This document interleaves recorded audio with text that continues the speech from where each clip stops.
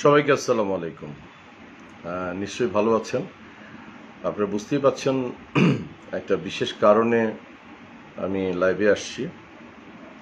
তো কারণটা হচ্ছে, দেখুন, আমার একত্রিশ, বত্রিশ বছরের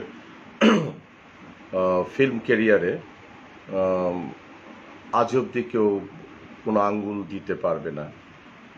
বিশেষ করে আমার স্ত্রীকে আমি বিয়ে করেছি সাতাশ বছর। আমার ফুটফুটে দুটি ছেলে মেয়ে আছে। আমার ফারদিন এবং ফাইজা।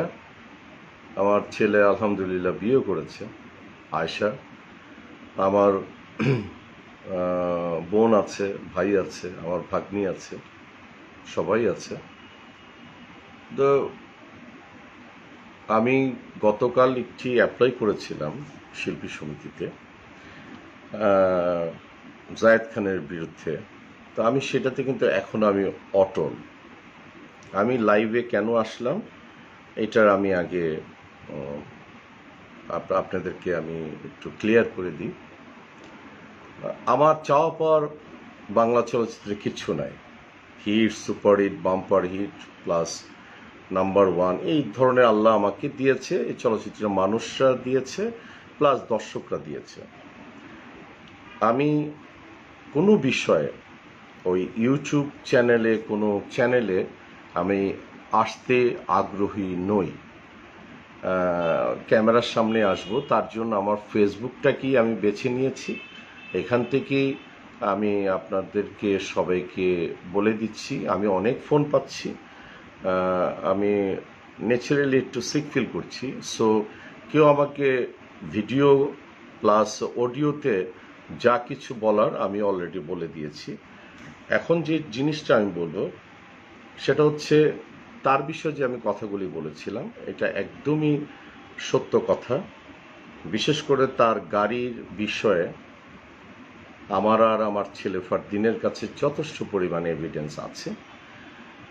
আর মৌসুমী সম্পর্কে যদি বলি, সে আমার স্ত্রী এবং আমার সন্তানের মা।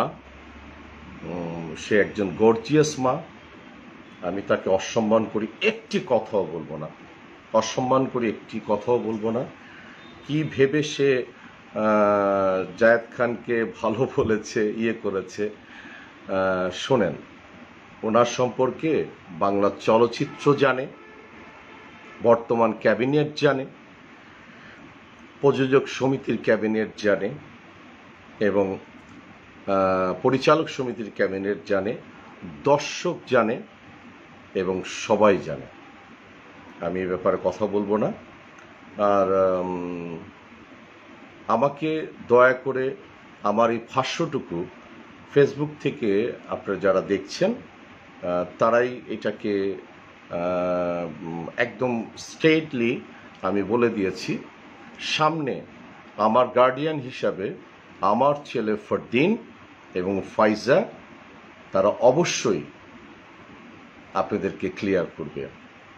আমি আমার গার্ডিয়ান হিসাবে আমার ছেলে ফরদিনকে আমি মেনে নিলাম এবং আমার ফ্যামিলির ইজ্জত মানে আমার ইজ্জত, আমার স্ত্রীর ইজ্জত মানে আমার ইজ্জত, আমার ছেলে মেয়ের ইজ্জত মানে আমার ইজ্জত।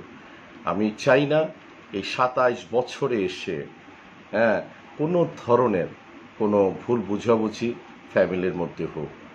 কিন্তু বাইরের মানুষ এসে যেভাবে ভাঙার চেষ্টা করছে, আপনারা নিজেরাই জানেন।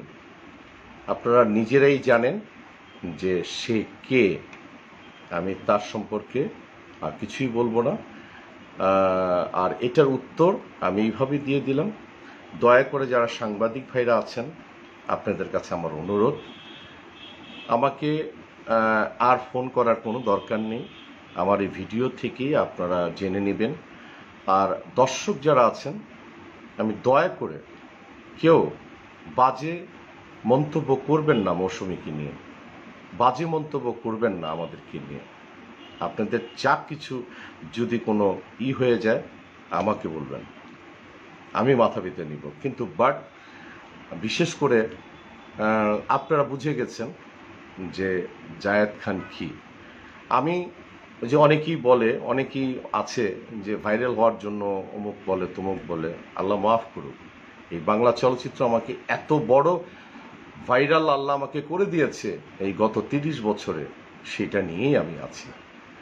তো সাংবাদিক ভাইদের কাছে আমার অনুরোধ আমার এখান থেকে সমস্ত কিছু নিয়ে নেবেন। আর আমার ছেলে ফারদিন ফাইজা আমার গার্ডিয়ান তারাই বলবে। ভালো থাকবেন, আমার জন্য দোয়া করবেন। আর মূলত আমি একজন কার্ডিয়াক পেশেন্ট আল্লাহ যেন আমাকে সুস্থ রাখে এবং নামাজের মধ্যে রাখে। ইনশাল্লাহ আমিও আপনাদের জন্য দোয়া করি, আমার পরিবারের জন্য দোয়া করবেন। আমি কখনোই কোনো খারাপ মানুষের সাথে আমি নাই এবং আমার পরিবারের সাথে আমি থাকতে চাই, আমার ছেলে মেয়ে, আমার স্ত্রী সবার সাথে থাকতে চাই। ভালো থাকবেন সবাই এবং আমি এখন প্রচণ্ড রকমের ফিল করি। আমার শালিক ইরিন জামান, আমার শাশুড়ি জিয়া, স্নিগ্ধা, আমেরিকাতে আছে, শ্রদ্ধা জানে। আমার বোন বকুল বকুল আপা আমার ভাই, ইকবাল ভাই এবং সবাই আমার জন্য দোয়া করবেন। আমি যেন সুন্দরভাবে বেঁচে থাকতে পারি এবং ইমানের সাথে বেঁচে থাকতে পারি। আর কেউ কোনো বাজে মন্তব্য করবেন না। হ্যাঁ? বাজে মন্তব্য করবেন না। কোনো যদি বাজে মন্তব্য করতে হয়, আমাকে নিয়ে করেন। ঠিক আছে? ভালো থাকবেন সবাই। আসসালামু আলাইকুম। আসসালামু আলাইকুম।